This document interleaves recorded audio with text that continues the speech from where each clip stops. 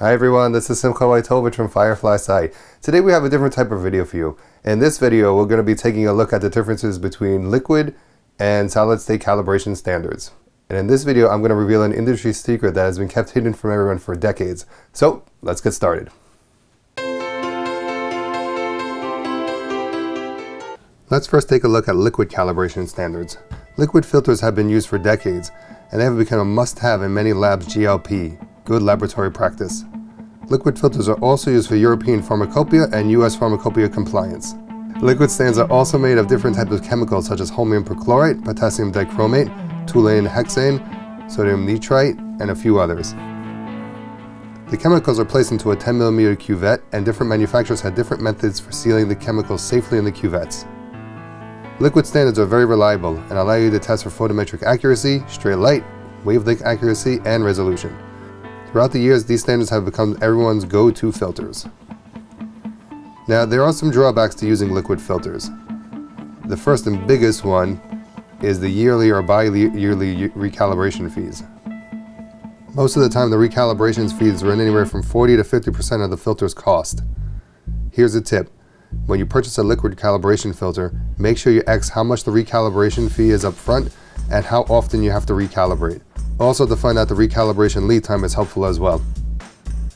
As we mentioned earlier, liquid calibration standards are made from potentially dangerous chemicals, so you don't want to break one of these. Being that these are housed in quartz cuvettes means that they can break if mishandled, so extra care must be taken when using a liquid standard. Another tip when buying a liquid calibration standard is to make sure you get the Material Data Safety Sheet or the MSDS. This way you know exactly what you're getting and how to handle any potential issues that may come up. When storing liquid filters, you have to make sure that they are stored in a place that is room temperature. The chemicals can freeze if stored in a cold place, or excessive heat can throw the filters off. Now let's move on to solid spectrophotometer calibration filters. Solid state calibration standards started being used much later than their liquid relatives. Many lab protocols were written before these standards were available and therefore these filters are not as popular as the liquid calibration standards. But let's go ahead and take a look at solid calibration standards and see why labs should make the jump to these more modern calibration filters. To start, solid spectrophotometer calibration filters can test for everything that liquid filters can test. This includes photometric accuracy, stray light, wavelength accuracy, and resolution. There are many advantages to using a solid state calibration standard, and we'll go over them one by one. First, let's look at the construction of a solid calibration filter. Solid spectrophotometer calibration standards are a solid piece of variety of materials such as different thicknesses of neutral density glass, holmium oxide glass, didymium, and other materials. The block of glass is mounted in a black aluminum housing. The glass plate is surrounded by the housing on all sides. This design is quite robust, but of course you still have to handle these filters with care and be sure not to touch the optical surfaces with your bare hands.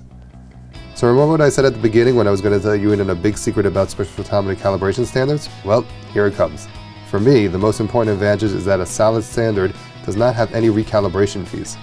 I know the manufacturers are going to get angry and say that this is not true, but this is 100% true.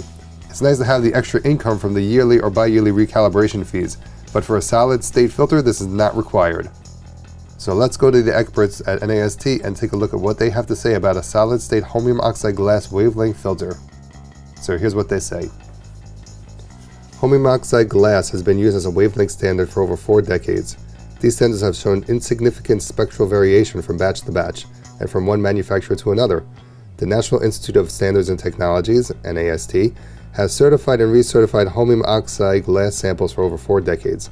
Over this period of time, there has been no recorded instance of a spectral shift of the certified bands for any of the samples measured.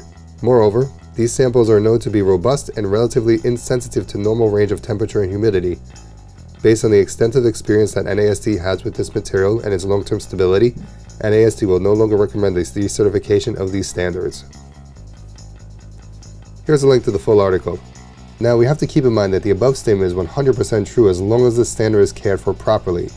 This means wearing gloves when handling the standard, keeping the standard in the protective case when not in use, keeping the standard away from any kinds of dust or liquids, carefully inserting and removing the standard from a spectrophotometer. With just a little care, a solid spectrophotometer calibration standard will last you forever. The next benefit is also mentioned by NIST, and that is a solid material is not affected by temperature fluctuations.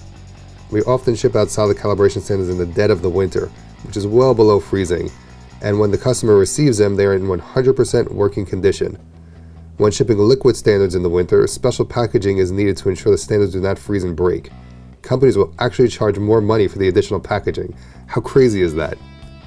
For people who are worried about lab safety, there's nothing safer than getting a solid calibration filter. There are no dangerous chemicals to be concerned about, and it makes paperwork easier since you don't need an MSDS. Okay, so let's recap. The material liquid standards are made from are various chemicals such as holmium perchlorate, potassium dichromate. The materials that solid standards are made from are glass plates of various materials such as holmium oxide and neodymium. Liquid standards test for photometric accuracy, wavelength accuracy, stray light, and resolution. Solid standards also test for photometric accuracy, wavelength accuracy, stray light, and resolution. Liquid standards that are housed in a 10mm quartz cuvette. Solid standards are housed in a 10mm metal housing. Liquid standards need an MSDS. Solid standards do not need an MSDS. Liquid standards do require recalibration. Solid standards do not require recalibration. Liquid standards have a one or two year recalibration period, whereas solid standards have no recalibration period. Thanks again for checking out the video. If you guys have any questions, feel free to leave them in the comments below or send us an email to info at fireflysci.com.